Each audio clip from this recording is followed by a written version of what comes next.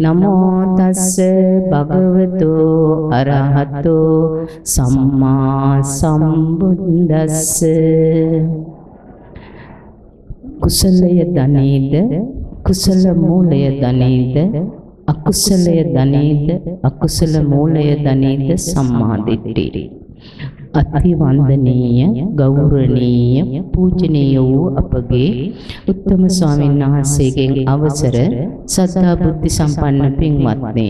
ඉතින් මම පළමුවෙන් මතක් කළා කුසලය ධනේද කුසල මූලය ධනේද අකුසලය ධනේද අකුසල මූලය ධනේද සම්මාදිට්ඨි යම් කිසි කෙනෙක් මෙන්න මේ චතුරාර්ය සත්‍ය අවබෝධ කරනවා නම් දුක දුකට හේතුව දුක නැති කිරීම නැති කිරීමේ මාර්ගය කියන මෙන්න මේ චතුරාර්ය සත්‍ය යම් කිසිකට අවබෝධ වෙනවා නම් සම්මා දිට්ඨි මනසකින්මයි. ඉතින් අපි ඒ සඳහා බලමු මොකක්ද මේ අකුසලය කියලා. මුලින්ම අපි අකුසලය හඳුනාගමු. සසුන් මැරීම, සොරකම් කිරීම, කාමයේ වර්ධවා හැසිරීම, බොරු කීම, කේලම් කීම, පරුස වචන කීම, හිස්බස් දෙඩීම, අපිච්චා ව්‍යාපාද මිත්‍යා දෘෂ්ටි. මෙන්න මේ 10 අකුසල. අකුසල මූලය තමයි ලෝභ, දේශ මොහ. එහෙනම් මෙන්න මේ ලෝභ දේශ මොහ අකුසල මූල. යම් කිසි කෙනෙක් මෙන්න මේක මනාව නුවණට ප්‍රත්‍යක්ෂ වෙනවද? එයා සම්මා දිට්ඨියටපත් වෙන්න මෙන්න මේ ප්‍රත්‍යක්ෂ වූ කෙනෙක්. එහෙනම් මෙන්න මේ දස අකුසල දහම මුල හතම සතුම් මැරීම, සොරකම් කිරීම, කාමයේ වර්ධව හැසිරීම, බොරු කීම, කේලම් කීම, පරුස වචන කීම, හිස්බස් දෙඩීම යන මේ කරුණු හතමන චේතනාවෙන් සිද්ධ වෙන්නේ. චේතනාවෙන් අපි සතෙක් මරනකොට හිතින් හිතලමයි කරන්නේ. ඒ නිසා මේක චේතනාවෙන්මයි කෙරෙන්නේ. එහෙනම් සතෙක් මරනකොට අපේ හිතට සතෙක් බව හඳුනගෙන ඒ අනුව කටයුතු කරනවා. එතකොට මේක වෙන්නේ දේශය මුල් වෙලා. සතෙක් මරනකොට අපේ මනස දේශය මුල් වෙලා තමයි කටයුතු කරන්නේ. සතෙක් මරන්න බෑ දේශය නැතුව. එහෙනම් දේශේ මුල් වෙලා තමයි චේතනා කර්ම. නමුත් මේකේ මූලික වෙන්නේ ලෝභ දේශ මොහවල දේශය දේශය මුල් වෙලා. ඉතින් සතෙක් මරණ හොරකම් කරනකොට අපේ මනසේ ලැබෙන සකස් වෙන චේතනාව ලෝභය මුල් වෙලා. හොරකම් කරනකොට හොරකම් කරනකොට අපි කැමති එක හොරෙන් ගන්නට. ඒ නිසා අපිට ලෝභය මුල් වෙලා තමයි ඒ අකුසලයේ සිද්ධ වෙන්නේ. ලෝභය අපි කෙනෙක්ගේ දෙයක් ගන්නකොට අපි බලන්න අපේ මනසේ ගොඩ නැගෙනවා අපි හොරෙන් ගන්නකොට අපේ සිතට ඒටිය ගොඩ නැගෙනවමයි. මේක අනුන්ගේ දෙයක් කියලා. එතකොට අනුන්ගේ දෙයක් කියලා මනසේ ගොඩ නැගෙනකොට අපට මේක ලෝභ සිතකින් තමයි හොරකම් කරන්නේ. එතකොට ලෝභයයි මුල් වෙන්නේ. එහෙනම් සතුන් මැරීම, සොරකම් කිරීම, කාමයේ වර්ධවා හැසිරීම කියලා මෙන්න මේකට මුල් වෙන්නේ චේතනාව මුල් වෙන්නේ ලෝභය. කාමයේ වර්ධවා හැසිරෙනවා කියනකොට ලෝභයයි මුල් වෙන්නේ. එහෙනම් ලෝභය මූලික වෙලා තමයි මේ අකුසලයේ සිද්ධ වෙන්නේ. අපි කැමති මේ විදිහට කටයුතු කරන්නට. ඒකට කරුණු සපයනකොට ඒවට කරුණු සම්පාදනය කරනකොට ලෝභ සිත තමයි මුල් වෙන්නේ. මේකත් චේතනා කර්ම. චේතනාවෙන්මයි පිළිවෙල වෙන්නේ. එතකොට අර අපිට මේ වෙලාවේ මනසේ ගොඩනගෙනවා මේක අකුසලයක් බව දැන දැනමයි කරන්නේ. අපි දන්නවා අපට තේරෙනවා මේක අකුසලයක් කියලා. නමුත් ඒ සිද්ධිය වෙලාවේ ලෝභය මුල් වෙලා අපේ මනස ඒ ක්‍රියාත්මක වෙනවා. එතකොට මනසේ අකුසලයක් වශයෙන් ගොඩනගෙනවා. එතකොට බොරු කියනකොට බොරු කියනකොටත් චේතනාව ලෝභය. අපේ දේවල් රැක ගන්නට බලන්න දරුවෙක් උනත් දරුවා රැක ගන්නට දරුවා විභාගේ පාස් සමහර විට පාස් නැහැ අපිට හිත හරි නැහැ අපි කියනවා දරුවා පාස් කියලා විෂයන් මෙහිම හතරක් තියෙනවා නම් තුනක් තියෙනවා නම් බාගදත් තුනම පාස් නෑ. අපි කියනවා පාස් කියලා.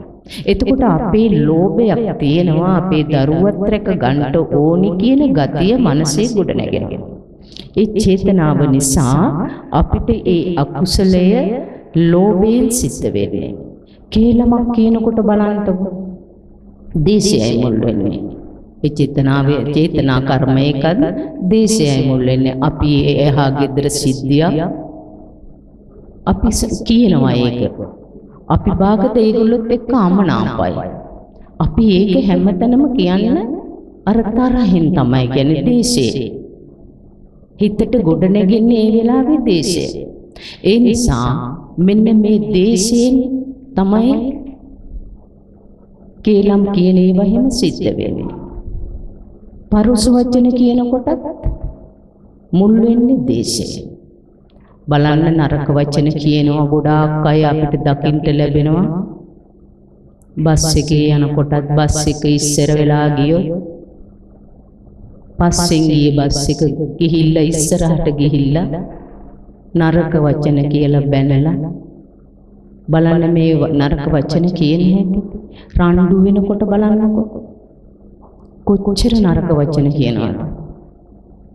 ඉතින් මේ විදිහට මේ නරක වචන පාවිච්චි කරනකොට මනස එකට නැගෙන්නේ දේශේ ඉතින් මේ මේ වගේ මුල හතම වෙදෙන්නේ චේතනාවෙන් අභිච්ඡා ව්‍යාපාද මිත්‍යා දෘෂ්ටි කියන මෙන්න මේ තුනම චෛතසික වශයෙන් මනසෙමයි ගොඩ නැගෙන්නේ. දැඩි ලෝභ ගතිය තියෙන්නේ මනසෙමයි. දැඩි දේශ ගතිය තියෙන්නේ මනසෙමයි. මෝහ ගතිය තියෙන්නේ මනසෙමයි. ඉතින් මෙන්න මේ ලෝභ දේශ අභිජ්ජා ව්‍යාපාද මිත්‍යා දෘෂ්ටි කියන ගති ටික නිසා අපට මෙන්න මේ අකුසල ටික සිද්ධ වෙනවා චේතනාව හා මනසේ තියෙන කඩිචෛතසික. එහෙනම් මෙන්න මේ අකුසලයේ ධනීද කියනකොට අකුසල් ටික අපි දැනගන්නවා. අකුසල මූලය කියනකොට ලෝභ, දේශ, මෝහ. එහෙනම් ලෝභ, දේශ, මෝහ තමයි අකුසල මූලය. මෙන්න මේ ලෝභ, දේශ, මෝහ කියන අකුසල මූලයන් නිසා අපට මේ අකුසල් ටික සිද්ධ වෙනවා. බලන්න මේක සිද්ධ වෙන හැටි. ආයතන හරහායි සිද්ධ වෙන්නේ. බලන්න ඇහැට රූපයක් දකින විට අපි රූපයක් කියලා දන්නේ නැහැ.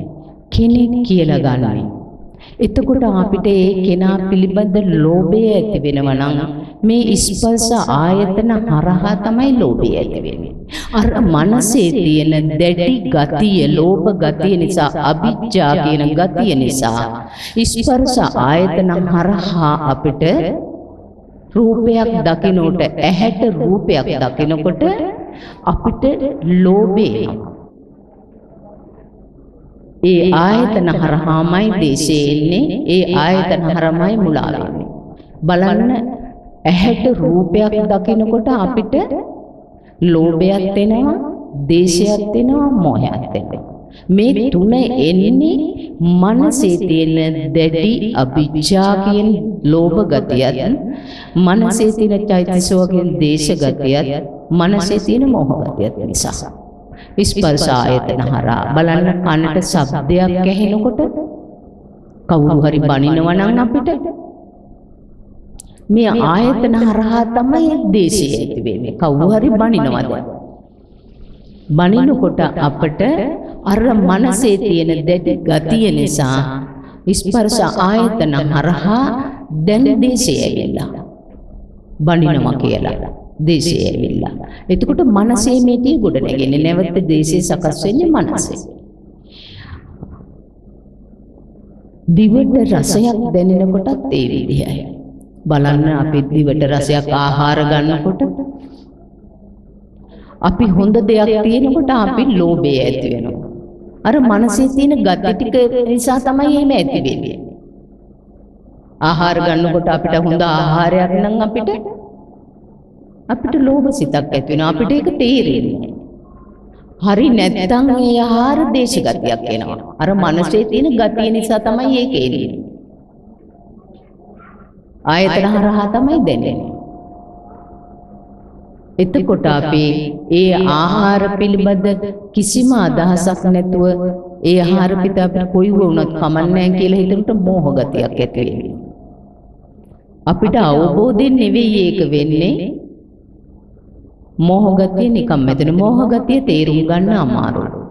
එතකොට මේ ඇස කන නාසය දිව ශරීරය හරහා එන අරමුණු වල ලෝභ දේශ මෝහ ඇති වෙන්නේ මනසේ තියෙන අවිජ්ජා ව්‍යාපාද මිත්‍යා දෘෂ්ටි කියන ගති ටික නිසාමයි.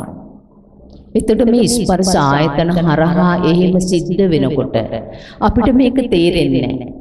තේරෙන්නේ නැති නිසා අපි මේ සංසාරේ මේ දේවල් අල්ලගන්නවා මනසෙන් ලෝභයෙන් දේශයෙන් මොහේ නිසා.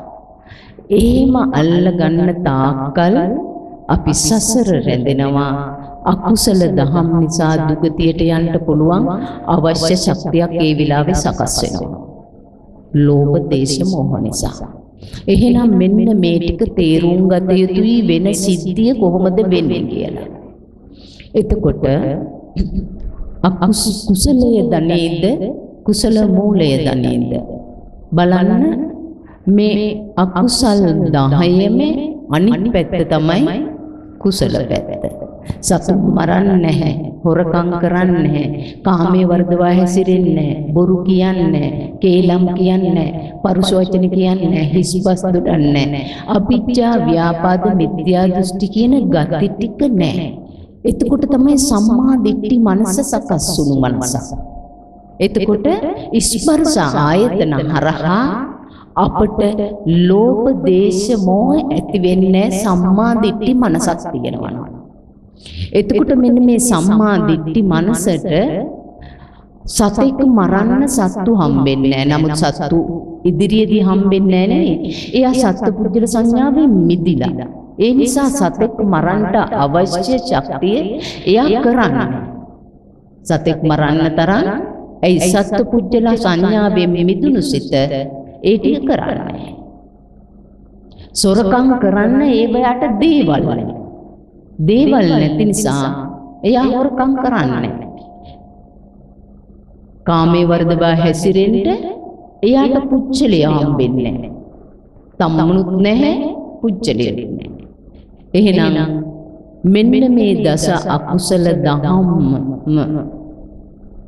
කෙරෙන්නේ නැති වෙන්නේ මෙන්න මේ සම්මාදිට්ඨියට ආපු මනසක්මයි. බලන්න ස්පර්ශ ආයතන හරහා අපට ලෝභ දේශ මොහ කොයිතරම් එනවද කියලා අපට හරි නැහැ. යම් කිසි කෙනෙක් වැඩ කරන එක අපට හරි නැහැ. අපිට ඕන විදිහට කරන්න ඕනේ. අපිට මේ හිත කිලුට වෙලා හිත කිලුට වෙනකොට කිලුට වෙන්නේ අර අකුසල දහම් නිසාමයි. ඉතින් බලන්න සම්මා දිට්ඨි මනසකට එන්න නම් අපි විශාල කැපවීමක් කරන්න වෙනවා. බලන්න මේ අවිජ්ජා ව්‍යාපාද මිත්‍යා දෘෂ්ටි කියන ගති ටික සම්මා දිට්ඨි මනසේ නැහැ. දෙඩි ගති ටික. බලන්න රහතන් වහන්සේට මේ අවිජ්ජා ව්‍යාපාද මිත්‍යා දෘෂ්ටිකින් දැඩි කෙලෙස් ගතිය නැහැ. ඒ නිසා චේතනාවෙන් පිළියෙල කරන්න දේවල් නැහැ. අර මනසේ අවිජ්ජා ව්‍යාපාද මිත්‍යා දෘෂ්ටි කියන දැඩි ගති තියෙන නිසා බලන්න දවසක් රහතන් වහන්සේ නමක් යනකොට එක්කෙනෙක් තල්ලු කරනවා. කුඹුරකට තල්ලු කරනවා. අනිත් කෙනා ගොඩ ගන්නවා. රහතන් වහන්සේ ඒ දෙකම ගත්තේ නැහැ ඌ කළ දේ ඌට මූ කළ දේ මූට ගුවා ඇයි? අතන තල්ලු කරපු කෙනා කෙනා කුඹුරට එයාට අකුසල් සිද්ධ වෙනවා. එතන එයාට ඒ කර්ම කරගෙන ගොඩගත්ත කෙනාට පින් සිද්ධ වෙනවා. එයාට ඒක එයාට ඒක සිද්ධ වෙන රහතන් වහන්සේට ගැටලු නැහැ මෙන්න මේ සම්මා දිට්ඨි මනස යම් කිසි කෙනෙක් ගොඩ නැගුවොත් අපි ඉදිරියටමයි යන්නේ ඉදිරියට යන්න නම් ඉදිරියට යනවා කියන්නේ මොකක්ද? මේ සංසාරයෙන් ඉගඩ වෙන්න අවශ්‍ය පෝෂණයයි අපි හදන්නේ. එහෙනම් බලන්න කුසලය ධනේද කුසල මූලය ධනේද අකුසලය ධනේද අකුසල මූලය ධනේද සම්මාදිට්ඨි. එහෙනම් මෙන්න මේ වැඩපිළිවෙල අපි තේරුම් ගන්නවා සම්මාදිට්ඨි මනසෙන් තමයි ඒ ටික තේරුම් ගන්න. නැති මනසට මේ ටික වෙන්නේ කොහොමද කියලා තේරෙන්නේ. තේරෙන්නේ නැතිකම නිසාම අකුසලයක් කියන්නේ කොහොමද වෙන්නේ මේ ටික සිද්ධ වෙන්නේ කියලා දන්නේ නැහැ. කුසල කියන පැත්ත වෙනකොට ඒක වෙන්නේ කොහොමද කියලා දන්නේ නැහැ. දන්නේ නැති නිසා මෙන්න මේ ටික සසර ගමන යෙදෙනවා අපට තේරෙන්නේ නැතිකම නිසා. යම් කිසි කෙනෙක් සම්මා දිට්ඨියටපත් වුණොත් චතුරාර්ය සත්‍ය අවබෝධ වෙලා. එහෙනම් දුක පිරිසිදු දැකලා යම් කිසි කෙනෙක් යම් කිසි දෙයක් දකිනකොට ඒ රූපය අල්ලගෙන මෙහි දුක් විඳින ගතිය නැති වෙලා. ඉතින් බලන්න අපිට දරුවෙක් කතා කළත් කතා නොකළත් අපිට දුකේ නැහැටි. දරුවා ලෙඩ වුණත් අපිට දුක ඇවිල්ලා. හරියට විභාගේ පාස් වුණේ නැත්නම් ඒ දුක ඇවිල්ලා. ඇයි අපිට එහෙම එන්නේ? අපිට මේ අර අපි මේ සම්මා දිට්ඨි මනසට ආවේ නැති නිසා. එන්න අපි උත්සාහයක යෙදෙන්නේ නැති නිසා. ඒ නිසා අපිට අර දරුවා පිළිබඳ අල්ලා ගැනීම නිසා අපට සකස් වෙන්නේම ලෝභ, දේශ, මෝහ. ඒ තුල තමයි අපි ඉන්නේ. ජීවිතේ අපි ගත කරන්නේම ලෝභ, දේශ, මෝහ තුලමයි. අලෝභ අදේශ අමෝහ කියන්නේ පිම් පැත්තත් නෙමෙයි. පිම් පැත්තේ තියෙනවා මෝහය. අපි ඔය පින් කරනවනේ ගොඩාක්. අපි ඒක අවබෝධයෙන් සම්මාදිට්ඨි මනසක් ආවම අවබෝධයෙන් නෙවෙයි කරන්නේ. පිම් පැත්ත කරන්නේ. ඒවා දේවල් තියෙන විදිහට තමයි අපි කරන්නේ. දැන් අපි පින්කමක් කරනකොටත් අපි අවබෝධයෙන් මේ සත්පුජ්‍යල සංඥාවේ මිදුණු මනසකින් නෙවෙයි කරන්නේ.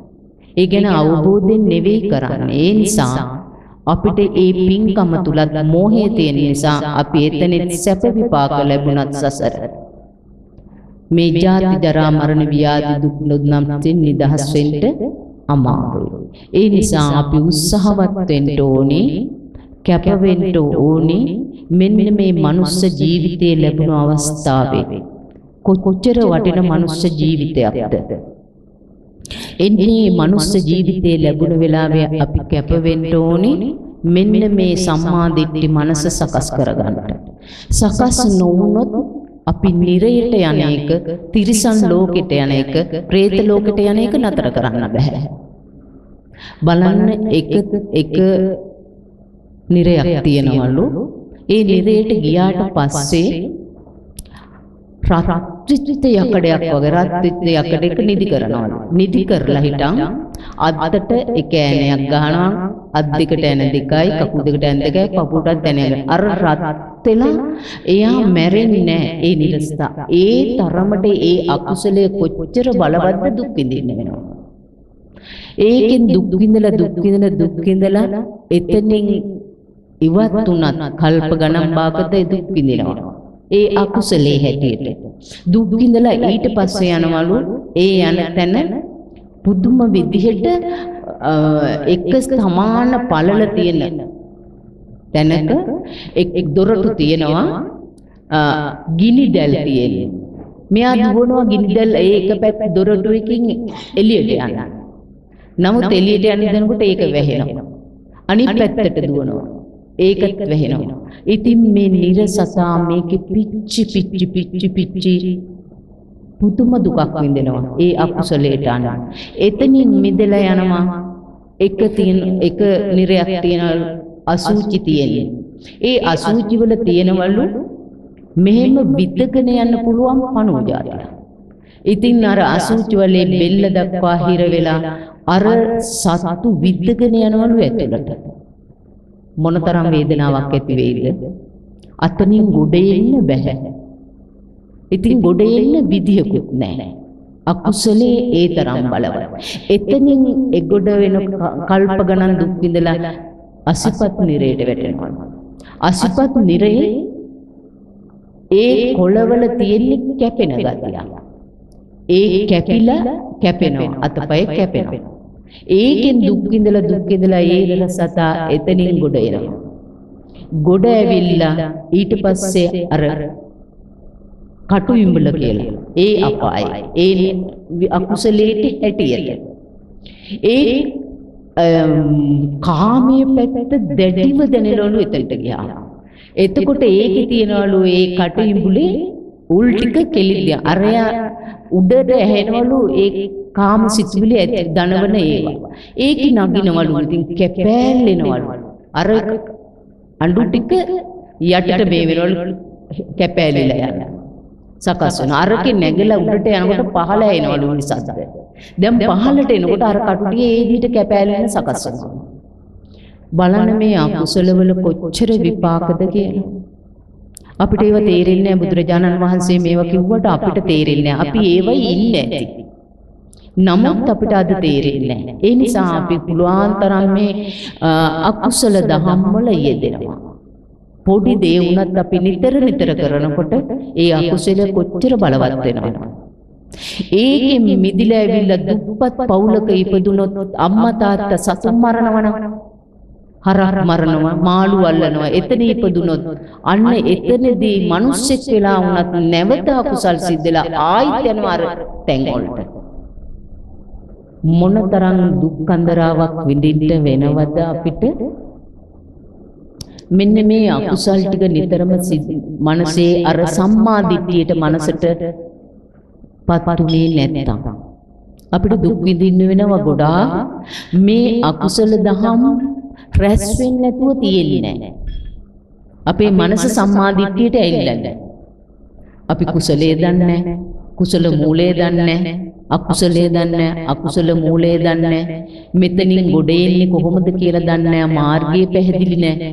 ඒ නිසා අපි ඔහි වැඩ කරනවා. එදිනෙදා ජීවිතයේ උදේ එළුණු වෙලේ ඉඳන් රෑ වෙනකන් ගෙදර වැඩ ටික කරනවා.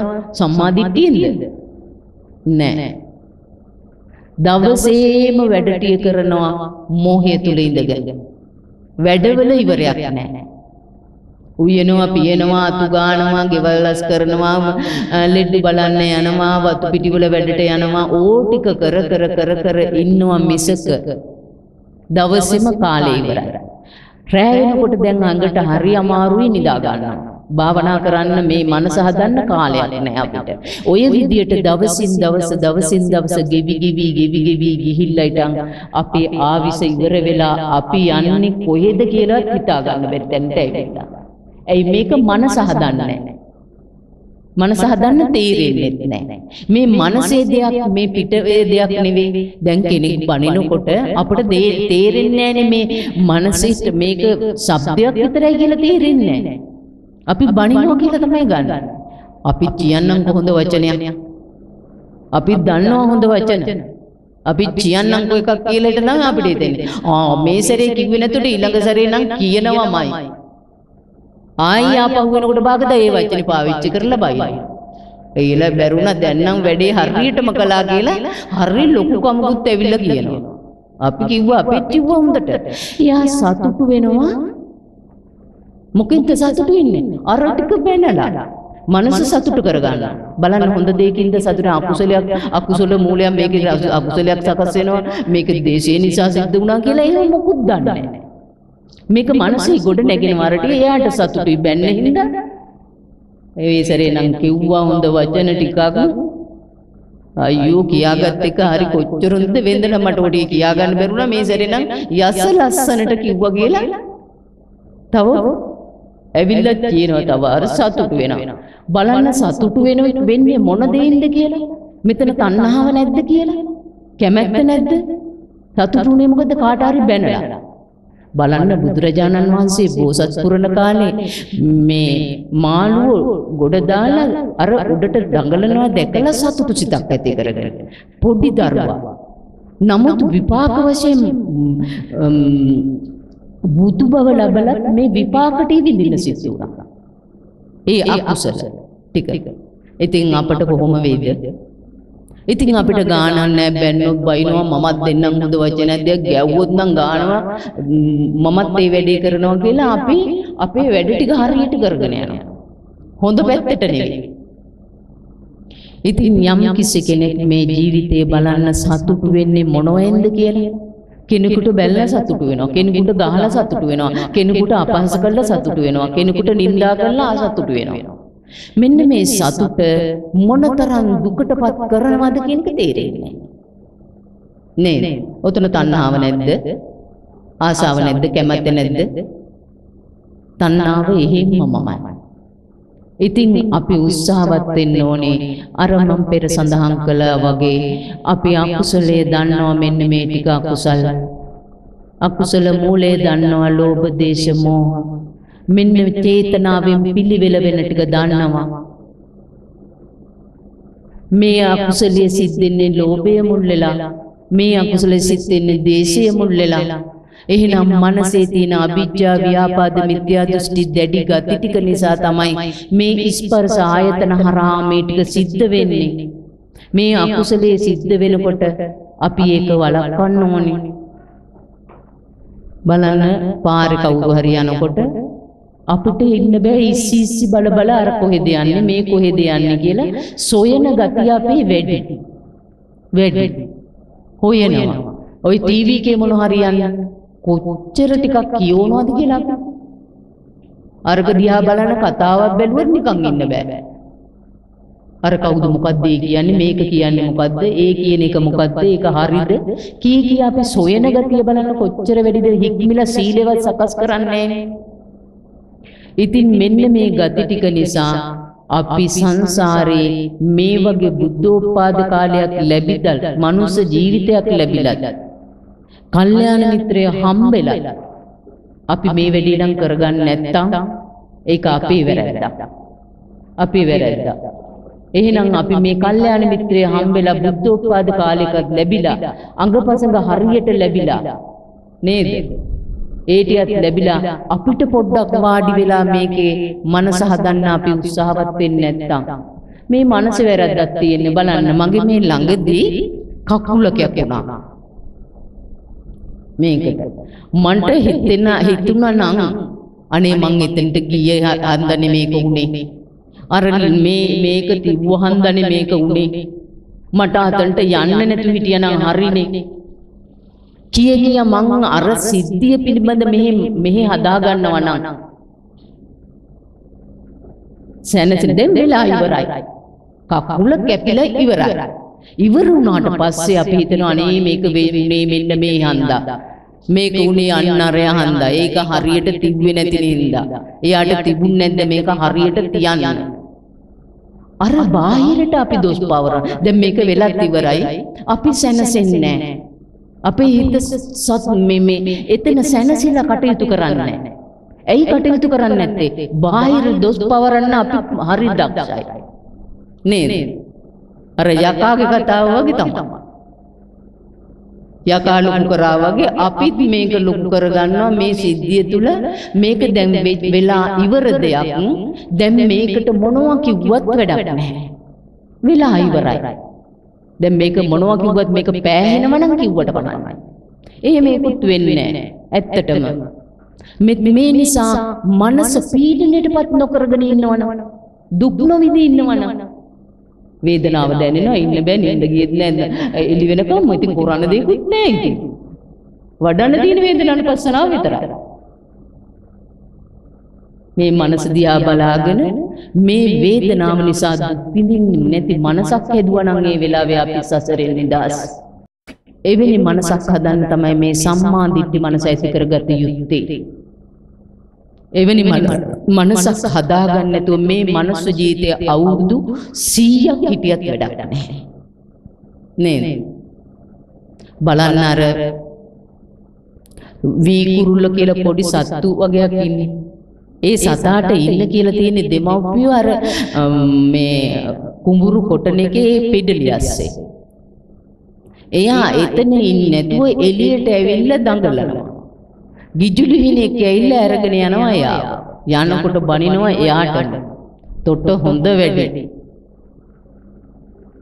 දෙමව්පියෝ කියපු තැන හිටියේ නෑ. එතකොට හොඳ වැඩේ මරන්නමයි තියෙන්නේ. කී කිය මෙයා ඇරන් යනකොට බනිනවා. එයාටම බැන ගන්නවා. ඉතින් ඒ අර විදුලිනේ ආනවා මොකද ඔයා බනින්නේ මෙහෙ. මටනේ බයින්න තියෙන්නේ මමනේ ඔයා ඇරන් යන්නේ. ඇයි ඔයාටම බැනගන්නේ? ඇයි අම්මා තාත්තා කිව්වේ නැති තැන හිටියේ? නැත්තේ. ඒ කාන්දනේ මේ විපත්. ඉපර කියන ගිහින් දාන්න එහෙනම් මං ගිහින් දාන්න හරි බේරෙන්නේ. අර ගිජුලිනිය ගිහින් දානවා අර හිටිතැන්න. අරය වීගෙන් එනවා ගිහින් දාන්නට අරය පොඩ්ඩක් වෙලා එළියේ ඉඳලා එනකොටම ඇතුළට යනවා. අරය මැරෙනවා අරය බේරෙනවා. අන්න දෙමව්පියෝ කිව්ව දැන හිටියා. මගේ බුදුරජාණන් වහන්සේගේ භූමියක් තියෙනවා. නේද? අපිට බුදුරජාණන් වහන්සේගේ භූමියෙන් පිට පනිනකොට අපි ඉන්නේ මාරයාගේ ඉඩමේ. ඉතින් මාරයාගේ ඉඩමට යන්න ඕන නම් අපිට මොකක් කරන්න ඕනේ නැහැ. නිකන් හිටියත් මාරයාගේ ඉඩමේ. ඇයි කුණුගොඩ මනසේ?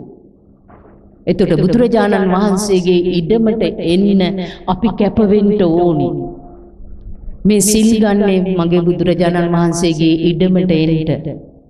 මාරයාගේ ඉඩමෙන් ඉන්න නෙවෙයි.